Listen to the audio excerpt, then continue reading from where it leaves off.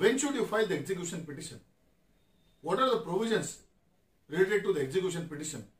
What is the time limit to file the execution petition? How the decree can be executed?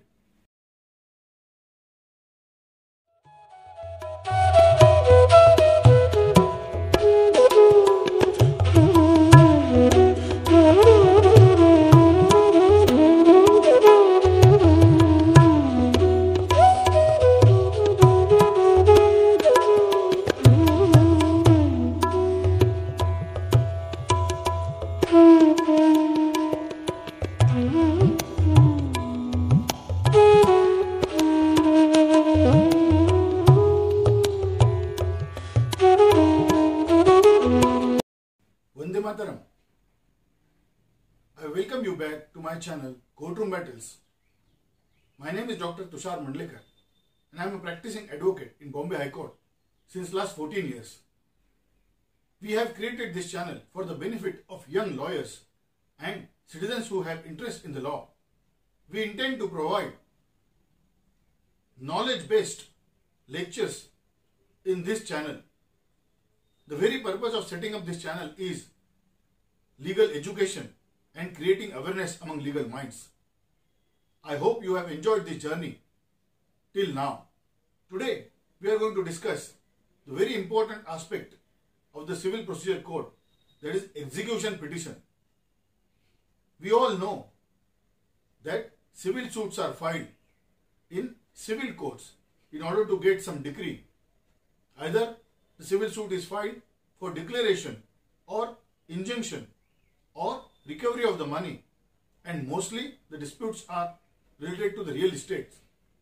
The disputed facts are contested, the evidence is on record and the decree is obtained. So plaintiff after obtaining a decree needs to execute it.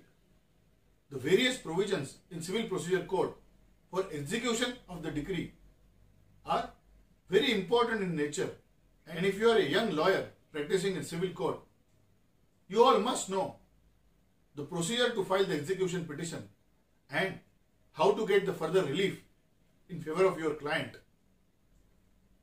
After obtaining a decree by the decree holder, the judgment debtor does not budge and it is imperative for the decree holder to file the execution petition in civil court. So when should you file the execution petition? What are the provisions related to the execution petition? What is the time limit to file the execution petition? How the decree can be executed in order 21 of the Civil Procedure Code? Dear friends, we all know that this is the longest chapter in the Civil Procedure Code wherein Order 21 has got 101 rules. So this is going to be a very important video Please keep on watching Courtroom Battles. The word execution is not defined in the Code of Civil Procedure. It simply means the process for enforcing the decree that is passed in favor of the decree holder by the competent court.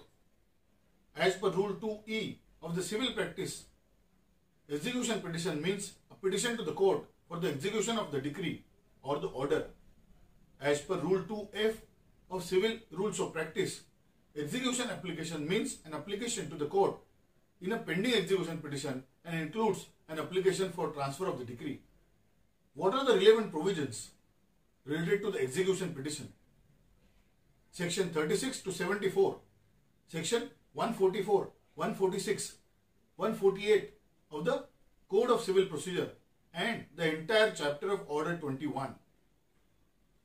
Chapter 16 rules 205 to 285 of the rules of practice. And articles 125 to 129 134 and 137 of the limitation act are all related to the execution petition. Where can you file the execution petition? Dear friends once you obtain a decree the execution petition is filed in the executing court that is the district court in that particular district. At the same time, the jurisdiction of the district court will lie where the property of the judgment debtor or the judgment debtor resides. Can the execution court go beyond the decree? No. Dear friends, execution court cannot go beyond the decree. The job of the execution court is to simply execute the decree. Sundar Das versus Ram Prakash, AIR 1977, SC 1201. Hiralal Patni versus Sri Kadinath, AIR 1962, SC 199. And Vasudev Modi versus Rajabhai Abdul Rahman, AIR 1970, SC 1475. These all case laws definitely say that the execution court cannot go beyond the decree. Honorable Supreme Court is very clear and it is clearly stated that the executing court cannot go beyond the decree. When there is a conflict between the judgment and the decree, whether executing court can look into the judgment? Yes. When there is a conflict between the judgment and the decree, and if the decree is not properly or happily drafted, the executing court can look into the judgment to know the intention of the court. G. Ramaiah versus Banaiya, 1974, 2 WR 14 SN. SBI versus Ma Sharda Oil Mills, AIR 2003, Guwahati 22.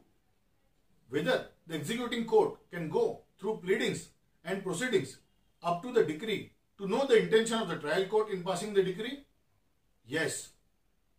Kodaji, Mansum and others, AIR 1972, SC 1371.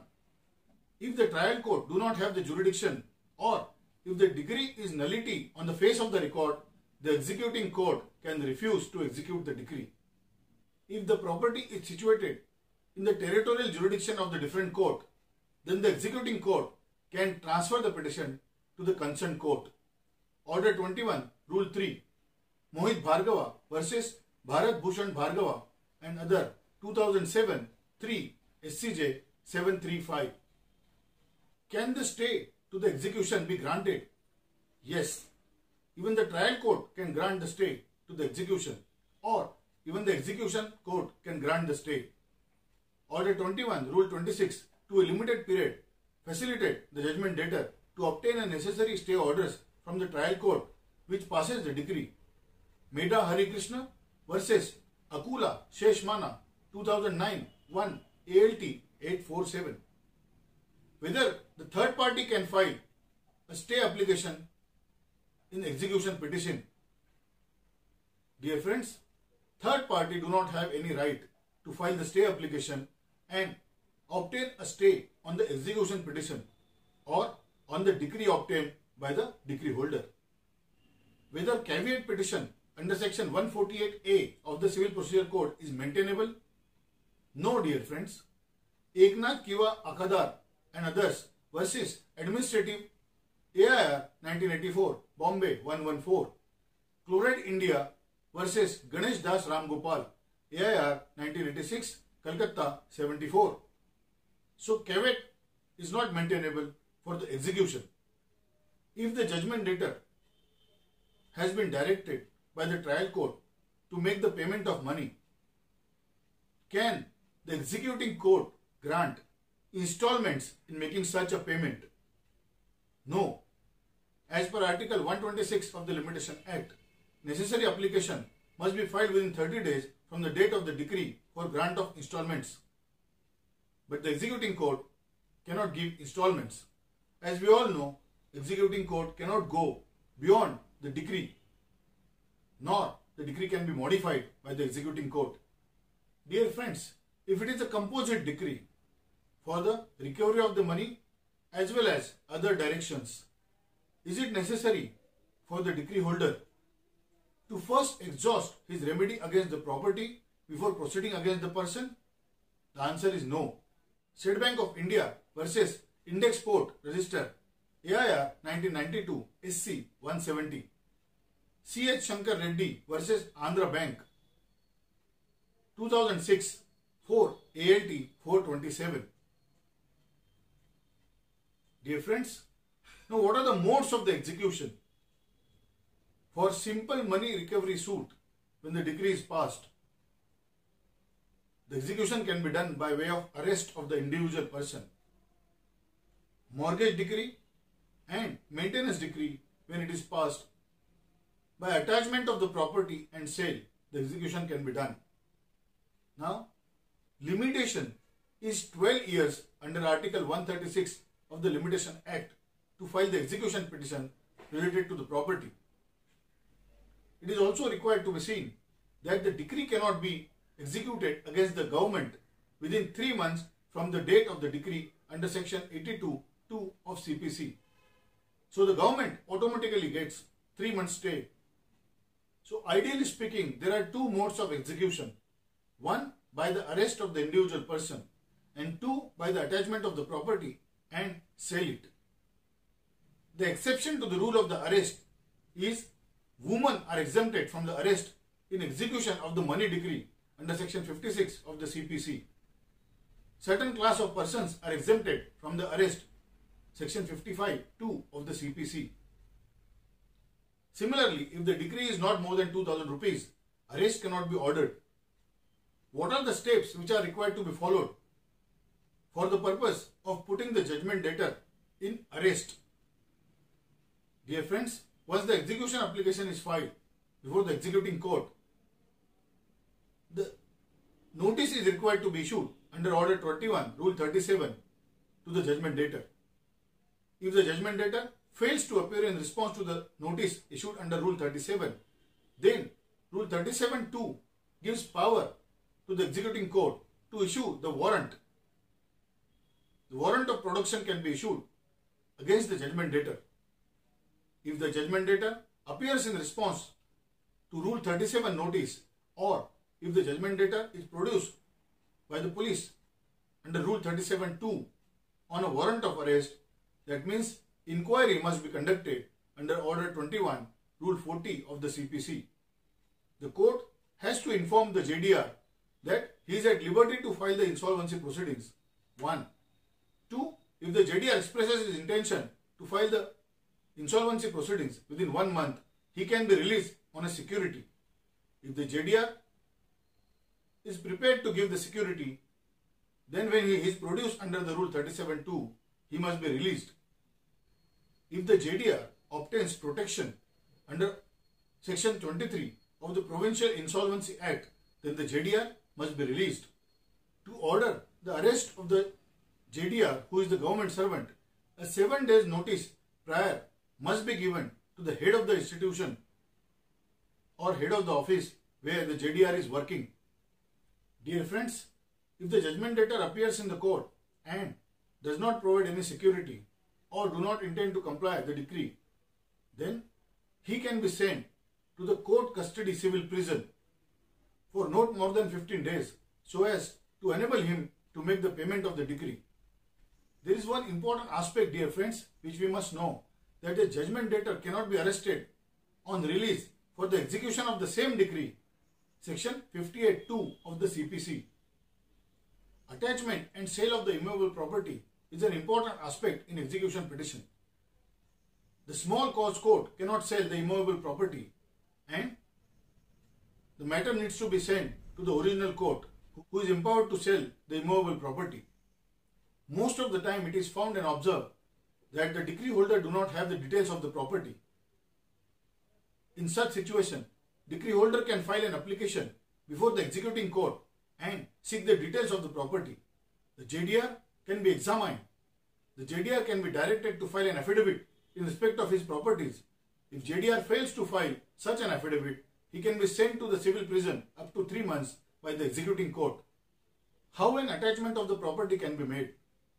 Dear friends, once the execution petition is filed and the JDR is called upon, the executing court has got the powers under Order 21, Rule 54 to give the notice and under Order 21, Rule 55 raising an attachment of the property. As per Section 64, sale is void during the subsistence of the attachment. Order 21, Rule 57 says that the order has to raise to the attachment. If the property is attached, the property cannot be sold out by the JDR to anybody else. Such a sale would be void in nature. as per Order 21, Rule 58.2, the claim must be between the parties and the representatives and separate suit is not maintainable. But if the claim is rejected under provisions of Order 21, Rule 58, a separate suit is maintainable. Dear friends, it is the most difficult task to attach the property and sell it out from the court. We have to ascertain whether the property is already mortgaged to someone else or not. At the same time, the details of the property which are furnished by the applicant or the decree holder are required to be ascertained and checked by the executing court before attaching the property. The necessary inquiry is required to be made and the judgment debtor, in fact, although is not empowered to sell the property once it has been attached, what is found most of the time is the property is mortgaged to somebody else. If the attached property is already mortgaged with the bank or any other financial institutions, then the charge levied by the bank will have to be deducted from the sale of the property or the bank also needs to be protected because the property is mortgaged to the bank. The process is defined in Order 21, Rule 72, read with Rule 277 of the Civil Rules of Practice. Can the upset price be reduced? Dr. A.V. Natarajan versus Indian Bank of Madras, AIR 1981, Madras 151. Even in mortgage decree, upset price can be reduced under certain circumstances.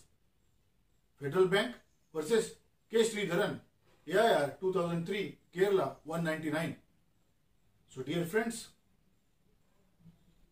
execution is one of the most important aspect of the civil procedure code and it is not that easy to execute the decree. Sometimes it takes years to obtain the decree but it takes more time even to execute the decree. So if you are a person practicing in civil code, make sure that you are very careful while filing the executing decree. Since the execution is the biggest chapter in the civil procedure code, one video is not sufficient. We will bring further videos. Please keep on watching Courtroom Battles. I hope you have enjoyed my channel. If you have liked this video and if you feel that it is useful for you, please like it, subscribe to my channel and share this video with your friends and families. Thanks for watching. Jai Hind, Jai Bharat.